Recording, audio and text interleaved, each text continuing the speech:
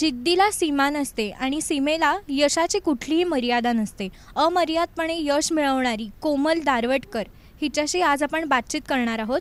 नमस्कार कोमल. तुझं पोलीस नामाच्या मंचावर मनपूर्वक स्वागत आहे. तू कुठला खेळ खेळतेस? त्या खेळाविषयी काय सांगशील? मी खो खो हा गेम खेळते.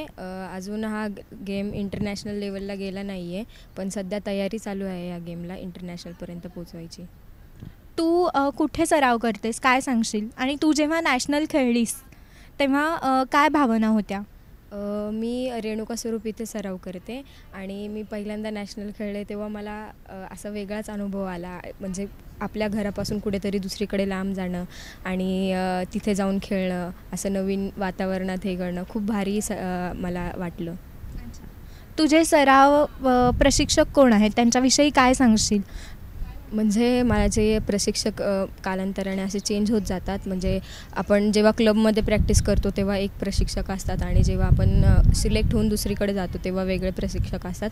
मला पहिल्यांदा ओकसर हे शिकवायचे. मग त्यानंतरनं काही वर्षांनी पुष्कर दादा म्हणून आला आणि सध्या आता मला उमेश दादा शिकवतो आहे आणि मला तुला विचारायचं आहे की तू खो खो या खेळाची नॅशनल जिंकलीस तेव्हाची तुझी भावना काय होती? आणि तू आता पुढे काय पाहतेस खो खो या खेळाकडे? कशा दृष्टीने बघतेस? म्हणजे पहिल्यांदा नॅशनल झाली एवढी तेव्हा मला अंदाज नव्हता काय गेमबद्दल काय जेव्हा मी सेकंड टाईम नॅशनल खेळले तेव्हा मला एटीनला म्हणजे जानकी अवॉर्ड होता. म्हणजे एटीनमध्ये ज्या भारतात सर्वोत्कृष्ट जो खेळाडू असतो ना त्याला हा अवॉर्ड दिला जातो. तर तेव्हा मला असं अनएक्सपेक्टेड होतं की एवढा मोठा अवॉर्ड मला मिळू शकेल.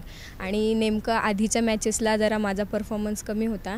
आणि नंतरनं नंतरनं म्हणजे नेमकं आधीच्या मॅचेसला चांगला होता. पण जेव्हा सेमीफायनल आली तेव्हा थोडासा चढ उतार झाला स मध्ये. मग मला एवढ्या आशा नव्हत्या.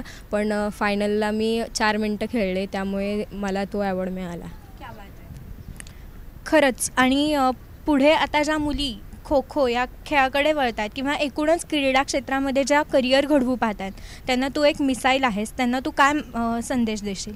म्हणजे खो खो हा सगळ्या गेमचा मेन पॉईंट आहे. म्हणजे कसं ॲथलेटिक्स वगैरे खेळायचं असेल तरी खो खो तुम्ही आधी खेळला तर तुम्हाला नंतरनं जास्त बेनिफिट होतो. कारण खो खोमुळे थाईसची पॉवर वगैरे सगळं वाढतं आणि खो खो हा मूळ गेम आहे मातीतला गेम आहे. जेव्हा या गेम जो खेळला तो नंतरनं क्रिकेट ॲथलेटिक्स काही करू शकतो. आणि या गेमला पुढे खूप स्कोप येत आहे. आता पेपरमध्ये पण डिक्लेअर झालं आहे. वाटतं प्रो लीग खो खोच्या चालू होणार आहे. तर या म खेळामध्ये भरपूर स्कोप आहे. आणि हा खेळ कितीही खेळला तरी कमी खेळल्यासारखा वाटतो.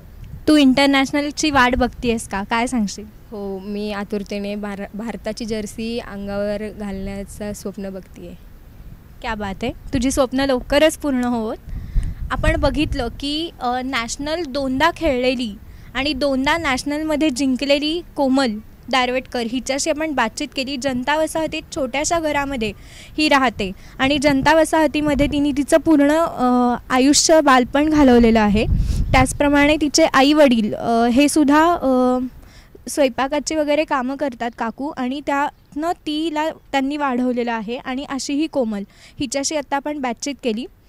कॅमेरामन सागर थोरात यांच्यासह तन्मयी मेंदळे पोलीस नामा पुणे.